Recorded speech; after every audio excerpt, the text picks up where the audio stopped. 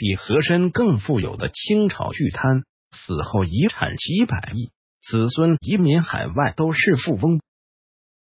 提起清朝权倾朝野的重臣，我们会想到许多名字，但其中一定少不了和珅。的以巨贪闻名，俗话说到了和珅保了嘉庆。就是指在和珅死后，嘉庆帝从他的家里查抄出的财宝多到让人难以相信，一下子使空虚的国库充实起来。这些由和珅费尽心机积攒的家当，他的后代世五福享受了，可以与和珅相提并论的清朝大臣，就要数李鸿章了。据说他的财富换算到现在的货币，至少有百亿人民币。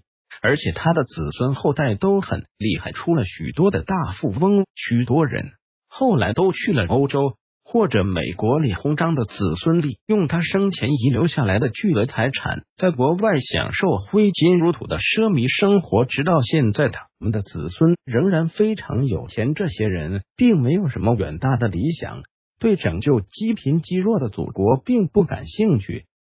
他们整日沉迷于纸醉金迷的奢侈生活。李鸿章恐怕是最具争议的晚清名人之一了。他的功过是非历来难有定论。在跌宕起伏的晚清时代，他几乎凭借一己之力扶持着摇摇欲坠的清王朝走过最后的一段路。他在国际舞台上跟列强们周旋，签订了许多的条约，也因此饱受诟病。有人骂他是汉奸，康有为则称之为。维新之同志，这么多的财富究竟从何而来呢？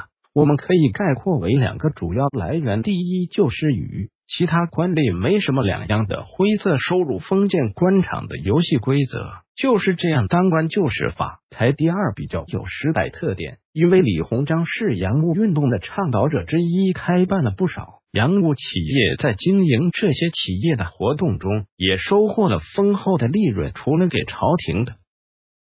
他自己当然也少不了分红。李鸿章与曾国藩有很多相似之处，比如他们都忠心耿耿为朝廷效力，对待工作要求极高，也取得了很大的成绩。同时，他们两人又有很明显的不一样。李鸿章身上多了一股痞子气，他对表面上的礼仪往往很轻，是表现出极度务实的特点，在为人处事中灵活多变。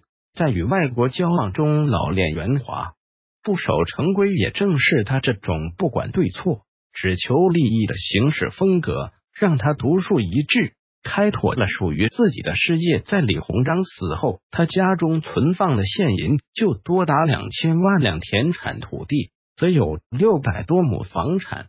更是不计其数。如果把所有的财产加在一起，约折合五千万两白银。这是什么概念呢？当年清廷全年的财政收入是白银九千多万两，故此称之为富可敌国，也不为过。在他去世后没几年，子孙们便分了家，继承了几百亿遗产。后来，李鸿章子孙中还有许多移民海外，成为了有名的富豪。不得不说。晚清巨贪，李鸿章的贪腐程度真可谓是前无古人后无来者。